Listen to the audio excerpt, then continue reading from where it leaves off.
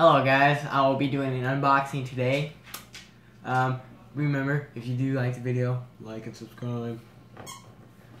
Uh, um, I ordered this box, I want to say six years ago from Amazon Prime.